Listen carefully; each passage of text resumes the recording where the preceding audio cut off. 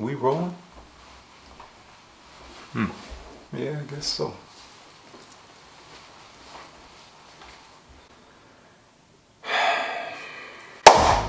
What's up, guys? Welcome back to another Stay Fresh production. We are back. I didn't want to take a whole bunch of time and explain to you where I've been, what I've been doing for the past six months. Maybe we can save that for another time, but I wanted to just dive right back into this head first. We're to start with a review. I'm really excited about this review.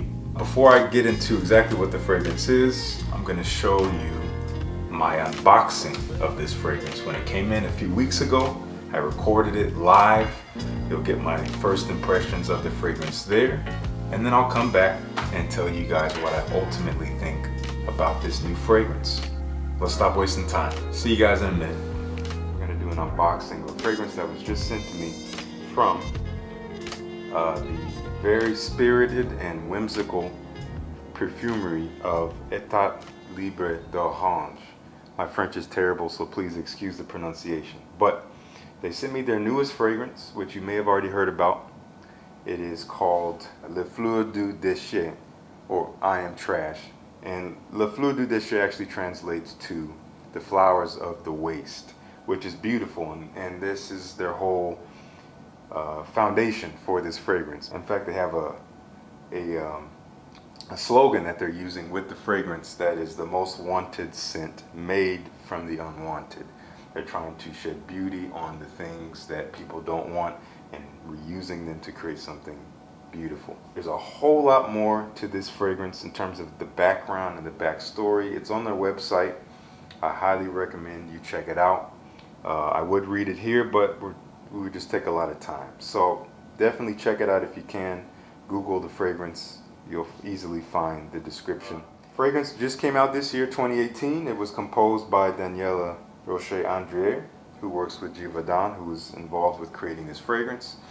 And she, if you don't know, is a legend when it comes to perfumery and, and her creations. I believe she has done a lot of work for Prada. Bottega Veneta, which she's done the Pour Homme uh, series, which is a beautiful series of fragrances if you didn't already know. Anyway, I'm going to open up this box. I haven't seen the notes yet. I tried not to look at them so as to not taint my view at all, just to not expect or anticipate to smell anything in particular because this fragrance is really intriguing to me.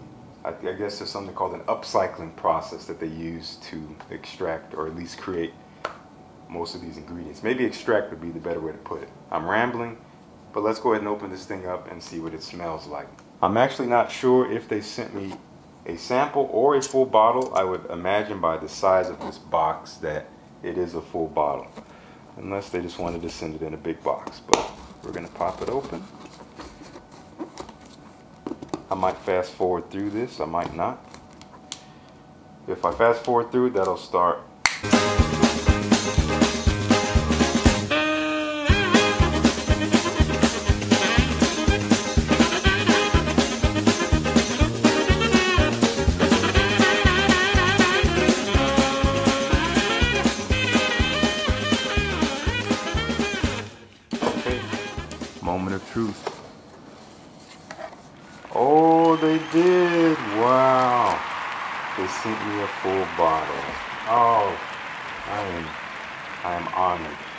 The fragrance. As you can see, I am trash. Le Fleur du Déchet, which again, flowers of the waste, 100 mil. I never even thought I would even try this fragrance when I heard it was coming out because I just didn't have access to it. And I'll show you guys this presentation since we have it to show. Oh, I just love this box. Man, the detailing on this is fantastic. Got the uh, branding there on the top.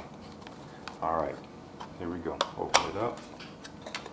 And inside, very simply sits this beautiful bottle. And look at this labeling work here. I am trash. Le Fleur du Déchet. Man. I'm just, yeah, I'm, I'm kind of giddy right now. Oh, I love this on the back here. It's great detailing. I'm really giddy because again, I've never owned a fragrance from this brand. I've only smelled Remarkable People and I really enjoyed that one. I've actually smelled uh, maybe a couple more in the store that were pretty good. Uh, but Remarkable People I really like.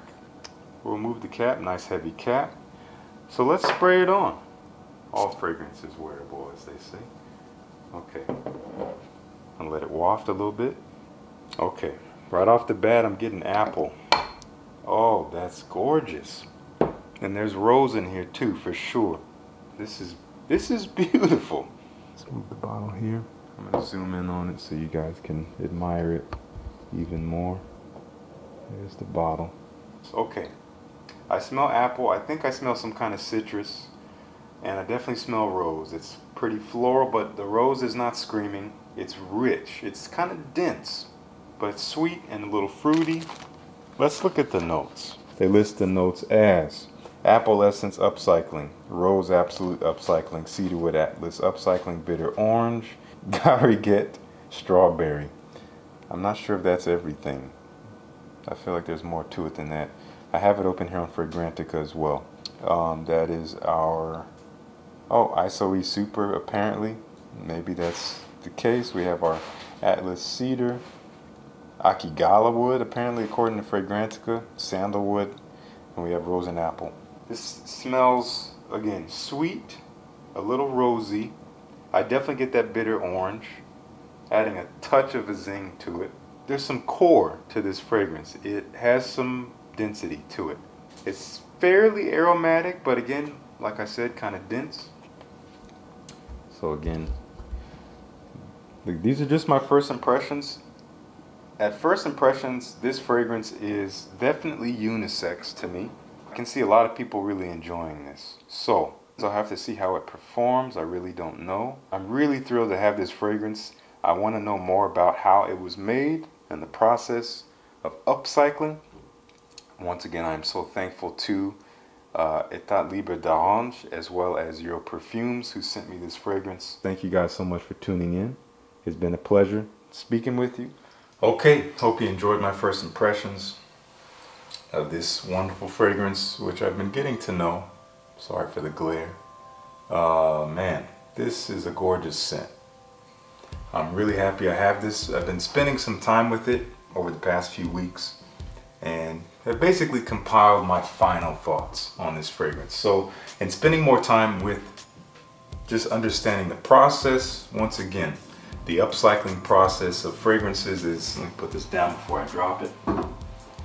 Uh, upcycling process of fragrances is basically taking waste material or unwanted, you know, material and basically finding a creative reuse of it and turning it into products of better quality or that have better environmental value. So that's the process of upcycling from what I could understand. Now let's get into this scent. Now, the notes of this fragrance, we have apple, we have bitter orange, we have strawberry, rose, sandalwood, cedar. I believe that's it. Fragrantica claims that there's ISOE Super in this fragrance that's not on the official website note breakdown. So I can't really confirm or deny if that's true. One thing I love about this fragrance is the bitter orange note. It doesn't scream, you can definitely get the nuance of citrus, but it's so well blended with the fruits in this fragrance that it really just adds this sparkling quality to the fragrance to that fruity sweetness, to the juiciness. It's just a little bit of zest on top, but it doesn't scream as orange. You know what I mean? And I love that nuance about this. Keeps it very bright and uplifting. Now the rose note does ultimately get a little bit jammy, but it's never too loud, it's never up front. It's really well blended and it allows the fruits to really shine. And I do think that the woods in the base are sandalwood or cedar wood. They keep the fragrance from being too soft and fruity and floral. They really do help to ground it a bit, which I think does kind of slide it into the unisex territory on the scale. Nothing wrong with wearing a fruity floral as a male, nothing wrong with that, but at least for me and my taste, this does make it easier for me to pull this off, especially into the dry down when that woodiness does make itself more apparent. Overall, I'll say that the scent itself is fruity and woody with a touch of rose. And again, made a little bit bright by the bitter orange in the opening. Now, in terms of the upcycling process, I can't really, I don't know if you can hear Penny having a great time back there. um, in terms of the process, I can't really say if, if I detect a real difference in quality or just in the scent itself because of the process versus using a regular process to extract oils and basically compose the fragrance from those oils. But I can say that the fragrance does smell very natural. So I would only imagine that these ingredients are of the utmost naturalness. That's a word? Yep. We'll see. We'll fact check that one. Now, the performance on this fragrance, ultimately, it's an eau de parfum and it performs like one. It's very elegant. It's gonna last on the skin at least eight hours, which is commendable for an eau de parfum. I don't ask for more than that. That's basically a day's wearing. And the projection is gonna be pretty detectable within the first one to two hours. You're gonna really detect it around you, especially in the air. And after that, it's gonna create just a nice intimate scent bubble around you for the remainder of its life on the skin. Really, really nice. It doesn't scream. I'm so glad it doesn't because sweet, fruity, floral, screaming into your environment, at least for me, is something I'm not into. So I'm glad that it remains a little bit closer to the skin. Again, retains a subtlety and an elegance as a result. I think this fragrance is great basically for all year round use. The scent character lends itself more to maybe the spring and the summer, but again, that woody nature I think does help it smell great in the fall as well. In fact, I've been getting quite a bit of use of it in the autumn here. I don't think you're going to smell this very well in the cold air. It's just not going to really be detectable, but you're welcome to wear it anyway. You know, it's not going to offend anyone. So ultimately, those are my thoughts on I Am Trash, Le Fleur du Déchet, with a terrible French pronunciation from me. I apologize for that, but I am thankful to Europerfumes and Etat Libre d'Orange for sending me this bottle as a gift Again, I was so surprised to receive a full bottle. I thought it was just going to be a sample. And I can't wait to get some more use out of this fragrance. Anyway, this video might be a little bit long, but I appreciate you guys tuning in nonetheless. I guess this is my comeback video. I already have quite a few other videos planned, even filmed and edited. So I will be putting out content pretty shortly. I can't say that I'm to be putting out videos every week at this point. I'm kind of easing my way in in terms of how often I'm uploading. So I can't promise you a video every week. But as soon as I know what the schedule is to look like, I'll let you guys know and we'll be off and running from there. Thank you guys so much for tuning in. Peace. I'll see you guys.